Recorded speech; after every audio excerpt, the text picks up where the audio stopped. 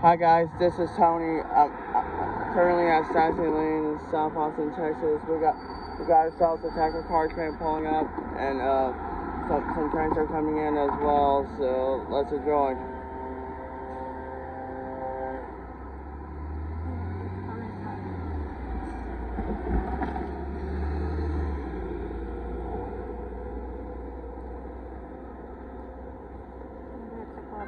Here it comes.